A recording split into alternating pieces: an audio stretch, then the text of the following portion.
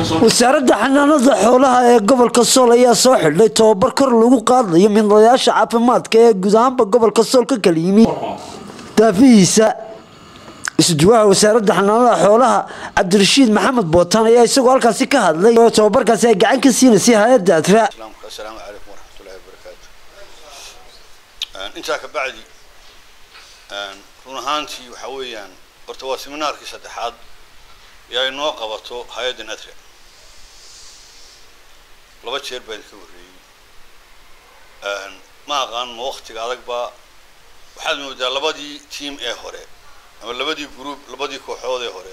Run ahaantii inaad ka activist yihiin sida aada u shaqayseen. Inkastoo aanan fiilka idinku iman haddana dee markii aanu aragnay sida aad u shaqaynaysaan run ahaantii wax cajiiba inagu noqotay. Siiba habla. Waayo habla samaynaya seer jiray qalliin. Ya oo geel leh oo ari leh mudaya lo-dii oo xoolaha ta ugu dhibto badana. Markaa ka wasaarad horta xaqiid idin laawi duruuftu dee meel kastaba hayna dhigto. Taana waxaale baan filayaa. Kulliba dee macallimiintii wax idin baraysay waayo haddaanu macallimiintu macallimku aanu lahayn gudbintii iyo aqoontii midna mas'uuliyiinta hay'adda adre iyo weliba macallimiinta iyagu barayay tobabarka afar iyo tobanka cisho.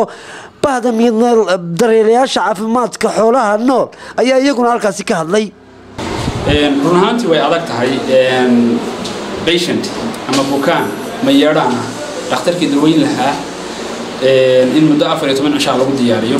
Laakiin haddana dadaalku naguma yarayn ka wasaarad ahaan iyo ka hay'adda adre ahaanba.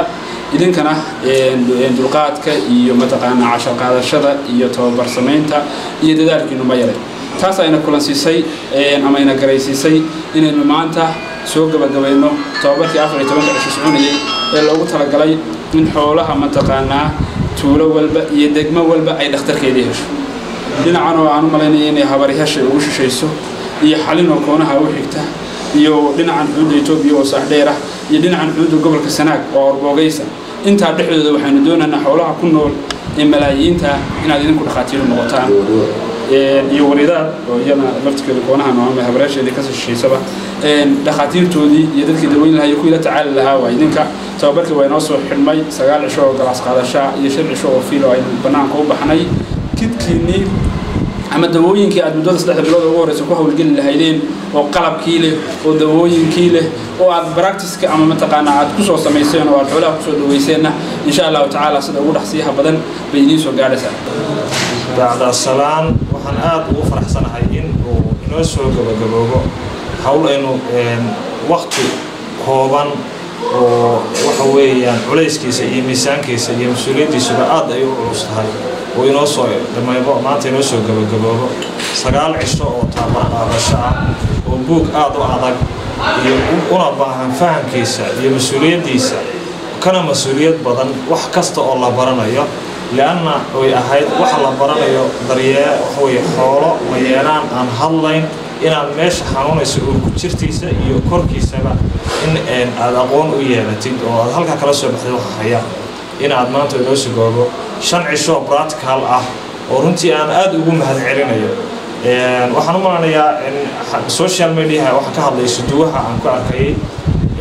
Berigii hore habluhu aad bay ugu yaraayeen tababaradii hore laakiin iminka waxaa moodaa inay atli waxa weyn half inay ama kala badh ay ku dhow ay yihiin haddaanay wax ama ay ku dhowdhow yihiin. Qaar ka mida xubnihii ka faa'iidaystay tobabarkaasi afar iyo tobanka cisho ka socday magaalada gudaha magaalada laascaanood ayaa iyaguna halkaasi ka hadlay. Shukra cali yuusuf oo ka tirsan ardayda tababarka ugu socda afar iyo tobanka maalmood magaalada laascaanood marka hore horta ilaahay baa mahadle marka labaadna waxaan u mahad celinaynaa hay'adda adra iyo suduwahayaga rashiid maxaad bootaan macallimiinteeda juhdiga badan lagu bixiyey casharo badan aanu qaadanay aanu wax badan ka faa'iidnay waxaan rajaynaynaa casharadan aanu meesha ka qaadanay inaan dhulkayga kula noqono wax badan ugu qabanno bismillaahi raxmaan raxiim anigoo ka tirsan ardaydii uu tababarku uga soconayay gobolka soor gaar ahaan degmada laascaanood waxaan aad iyo aad iyo aad ugu mahad celinaya marka ugu horeysa. Wasaaradda xanaanada xoolaha suduwaheeda iyo kalluumaysiga iyo hay'adda adra brogaraamkan iyo tababarkan ay noo soo qabteen ay naga caawiyeen waxaan kaloo u mahad celinayaa macallimiintu aadka tacabka badan loo geliyey tacliinta iyo ilaahay markaa baradka halkaba sida fiican noo siiyey aad iyo aad bay ugu mahadsan yihiin. Waa barkhad cumar axmed warbaahinta dowladda jamhuuriyadda somalilan lascanood